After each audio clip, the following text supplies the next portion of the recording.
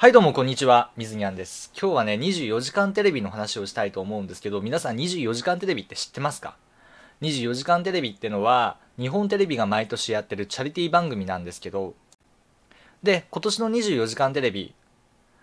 番組パーソナリティだった高畑裕太が、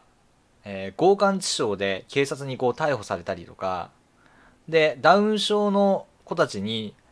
オリエンタルラジオのパーフェクトヒューマンを踊らせるっていう企画が炎上したりとか、結構ですね、散々なものになってるんですよ。24時間テレビのこう趣旨っていうのは、あくまでチャリティーなんですよ。全国各地のスポットで、24時間テレビのこう T シャツを着たスタッフが、視聴者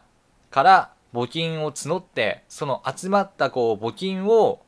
えー寄付するっていう形なんですね。で、僕その24時間テレビのこうあり方に一つ疑問を呈したいと思います。その疑問っていうのは何なのかっていうと、24時間テレビにこう出演している芸能人っていうのにギャランティーが払われてるんですよ。ギャラが。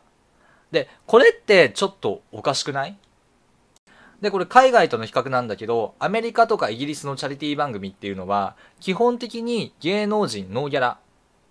で、その有名芸能人になった箔として、で、チャリティー番組があるっていう。だから、こぞってセレブリティな芸能人たちが出演します。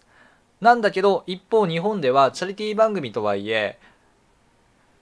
出演する芸能人にギャランティーが払われるんですよ。これよくあの週刊誌とかでよく話題になってる話なんですけど、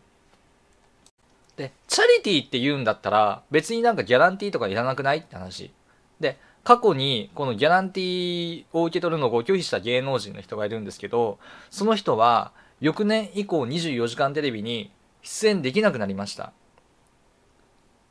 その芸能人は大物芸能人なんだけど、その大物芸能人の人がギャランティーの受け取りを拒否すると、他のね、下の芸能人の人たちは、まあ、ギャラを受け取りづらくなるっていうこう番組側の配慮だと思うんですよ。でも、それって本来のチャリティーの趣旨からずれてないっていうことなんですね。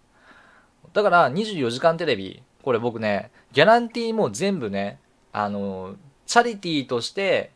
困っている人たちに寄付したらいいと思うんですよ。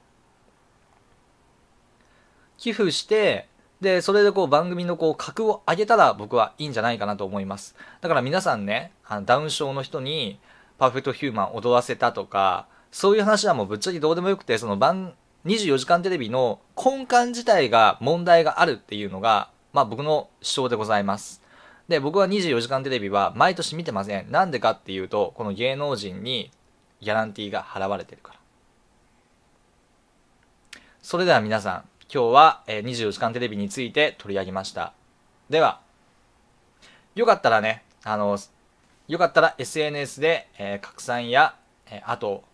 えー、ツイッターフォローと、高評価お願いします。それでは。